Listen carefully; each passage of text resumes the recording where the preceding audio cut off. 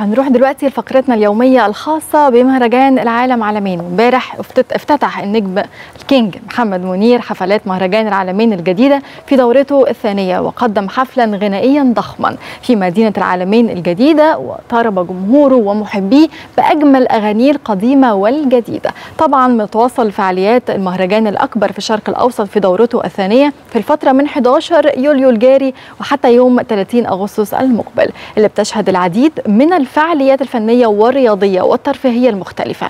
وده بعد النجاح الكبير اللي حققه المهرجان في نسخته الأولى اللي أقيمت العام الماضي. هنتعرف على تفاصيل أكتر مع زميلتنا ميرفت المليجي موفدة إكسترا نيوز من العلمين الجديدة. صباح الخير عليك يا ميرفت.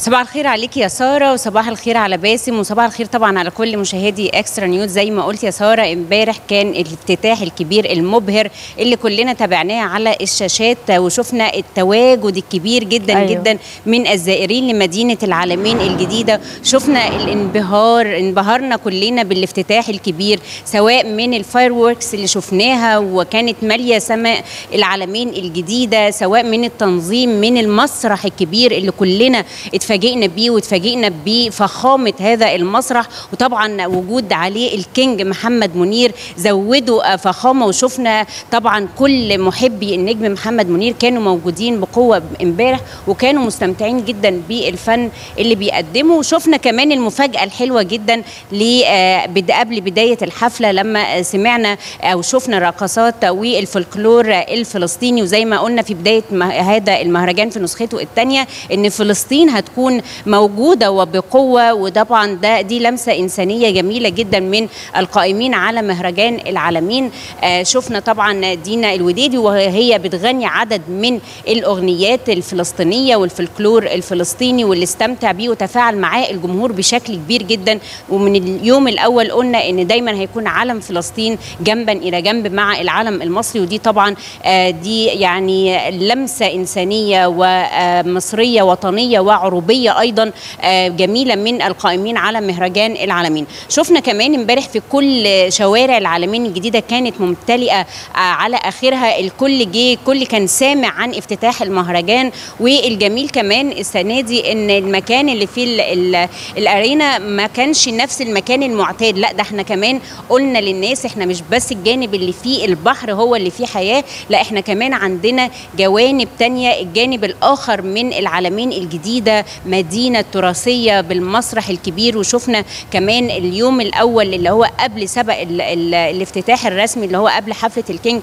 كان في ال live show بتاع آآ آآ معكم اللي كان فيه طبعا النجم مدحت صالح وأمتع اللي موجودين بأغاني طربية كثيرة جدا وكان في تفاعل كبير مع الجمهور. وهذه النوعية يا باسم وسارة من البرامج بيكون ليها جمهورها بشكل كبير إن هم بيتفاعلوا مع الإعلامي ومع المذيع. ومع المطرب ومع الضيف بشكل مباشر وده نوع مش مت مش يعني مش متعودين عليه كتير في مصر ولكن إن نعم. هو يبقى في مسرح مكشوف وفي مكان مكشوف دي كانت تجربة جديدة نجحت طبعا السنة اللي فاتت وبنكررها المرة دي ولكن بنستغل بقى الجمال اللي موجود في العالمين الجديدة إن في المسرح الجديد الروماني طبعا والمدينة التراثية بجمالها وبتنظيمها وبال يعني المعالم اللي موجودة فيها. ده طبعا كان ليها أثر كبير جدا وشكل كبير جدا شفناه بالأمس. التنظيم طبعا ما ولا أروع.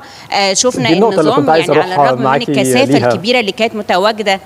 دي النقطة اللي كنت عايز أروح معاكي آه يعني امبارح على الرغم من الأعداد الكبيرة. شفنا يمكن على قناة يو لايف لأن حتى ال الناس اللي ما قدروش إن هم يروحوا أو ما حضروش هذه الحفلات قدروا إن هم يستمتعوا بهذه الأجواء ويعيشوها من خلال قناة اللي أطلقتها المتحدة علشان تغطي من خلالها كل الفعاليات اللي موجودة في مهرجان العالم علمين ونعيش هذه الأجواء كلنا مع بعض. قناة يو لايف طبعا بنتكلم عليها بس اللي يمكن ما قدرناش إن إحنا نشوفه من خلال القناة هي الأجواء التنظيمية وهي دي كان محور سؤالي معاكي يا ميرفت. بالظبط. بص يا باسم يعني من اللحظة الأولى اللي إحنا جينا فيها قبل انطلاق المهرجان كمان أنت هتلاقي العمل كان شغال في كل مكان في كل ركن في مدينة العالمين الجديدة كان فيها ناس شغالة عشان إنشاء مسارح عشان تستقبل هذا العدد الكبير. بنتكلم في أكبر مسرح بيسعى لعدد كبير جدا من الوافدين أو من الزائرين اللي هيجوا يستمتعوا بالحفلات الكتيرة اللي موجودة في مدينة العالمين التنظيم بقى وقت الحفلة كمان أو قبل ساعات من الحفلة كان التأمين طبعا موجود في كل الشوارع. طبعا التنظيم المروري وده كان مهم جدا إن في ظل الضغط الكبير والعادات الكبيرة اللي كانت بتزور مدينة العالمين بالأمس واللي طبعا دي هتتوافد بشكل كبير على مدار آه المه... أيام المهرجان كان في تنظيم في آه يعني آه استعداد لكل حاجة موجودة احتمالية موجودة. عربيات الإسعاف كانت متواجدة في كل مكان محيطة بكل مكان هيكون في كثافة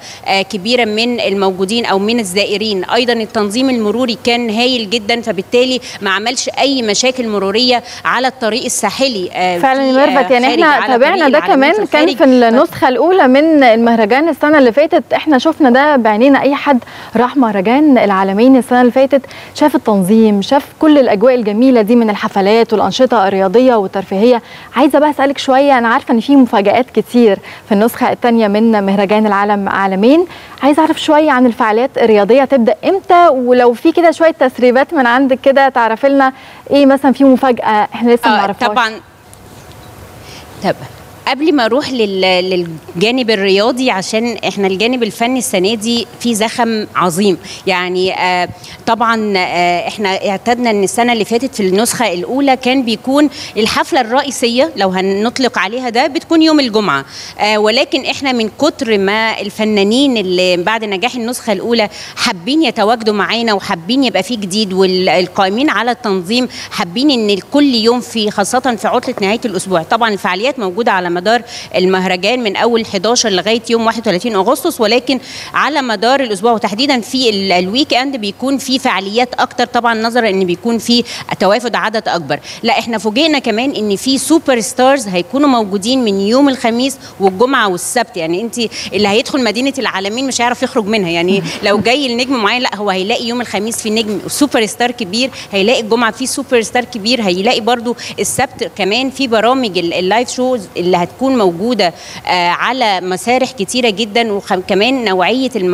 البرامج اللي مختارينها تكون موجودة فيها تفاعل مع الجمهور برامج قريبة جدا من قلب الجمهور والمشاهد صاحبة السعادة هتكون متواجد معانا وطبعا بي... بيختاروا الضيف اللي يكون موجود يكون آه حد يكون ليه بعد أو خبرة موسيقية بحيث إن اللي بيحضر العرض أو البرنامج يستمتع بكل دقيقة موجودة يعني الفكر كمان في طبيعة اختيار البرامج اللي هتم عرضها هنا مختلفة وفيها بعد طبعا فني كبير قوي. بالنسبة بقى للبعد الرياضي اللي اتكلمتي عنه طبعا إحنا كل الفعاليات الرياضية اللي تابعناها في النسخة الأولى من مهرجان العالمين معانا ومكملة وفي فرق عالمية كبيرة جدا في كرة الشاطئ وطبعا البادل هيكون معانا في فرق عالمية. وكمان العملية المتحدة السنة دي زي ما عاملة شاطئ عام لأي حد حابب يجي يستمتع بمدينة العالمين الجديدة بترحب بيه بيتلقى نفس الخدمات اللي بيتلقاها أي شاطئ تاني.